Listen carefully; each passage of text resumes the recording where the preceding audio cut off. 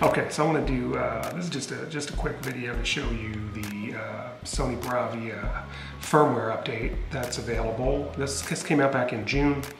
Uh, what I want to show you quickly is uh, the notifications that you're going to see from the Bravia. It's in your upper right hand corner of the TV.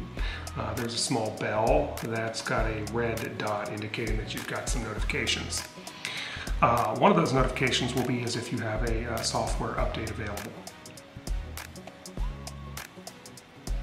And in my case, here on my TV, I've also got a, apparently, I've got a, uh, a low battery on my uh, remote control, and so it's letting me know about that. But anyhow, so if you click on it, um, you can go and see all your notifications. Uh, if you do have a software update available, uh, that will pop up under uh, all notifications. It'll also show up under your important notifications as well. And then you uh, simply click on that, uh, that link for the software update and it will begin uh, downloading the update and preparing to install the, uh, the new firmware. Taking a look at the actual uh, update as it shows up on the screen of your Sony Bravia. Uh, and you can see it's got the firmware number there, version 6, 7546. And this came out back in June 2024 and then you just click the update button and it will start downloading the update and preparing for installation. And uh, what I didn't know when I started this was uh, it's going to take a while. Uh, so this this file that you're downloading uh, is two gigabytes. So it's a fairly large update. It's actually it's a very large update for the uh, Sony Bravia TV.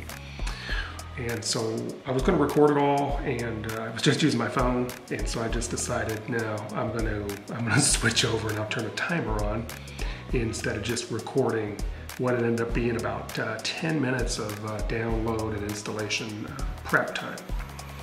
Um, however, once that's done, once your your 10 minutes is up, 9 minutes and 34 seconds exactly, uh, it will pop up on the screen and say that the update is ready. And uh, if you click on that, it will say software update is ready to go. And you need to turn off the TV or reboot the TV to complete your installation. Okay, so at this point, um, what I'm doing now is I am uh, just press and hold the power button to do a restart. And the Bravia TV is now restarting. And as it is restarting, it is, is updating and installing uh, the firmware. So you can see this little screen pops up, says there is an installation going on. Uh, and then the Sony uh, Start logo comes back on. And it takes a, a little bit longer to load at this point.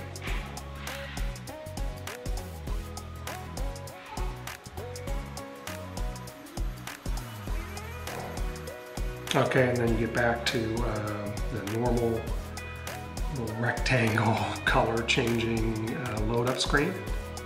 Right, that's going.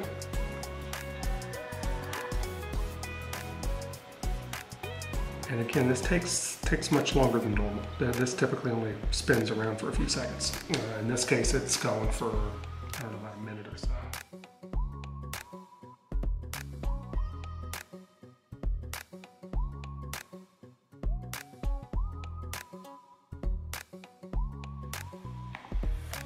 Okay, so uh, so then the next thing that pops up is a little thing saying it's checking for updates.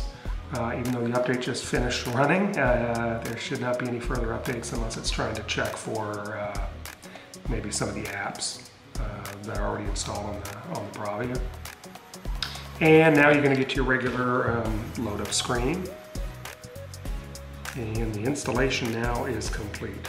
Um, all told, that took about uh, 15 minutes of total time to get it going. So not a big deal, uh, but if you're sitting down to watch the Olympics or start up a movie and you do see the update software uh, notification, you may want to you know, hit pause on it. You can say uh, remind me later or, or just ignore it. And then uh, update it at a later point in time when you've got, uh, you know, don't have anything on your schedule to watch. but uh, real easy to do. And uh, I haven't noticed any big up updates or changes to the software itself. I'll, uh, I'll play around with it a little bit more just to see uh, but it seems like most of the uh, changes are behind the scenes. It's supposed to help with stability and um, overall performance of the software. So uh, yeah, we'll see.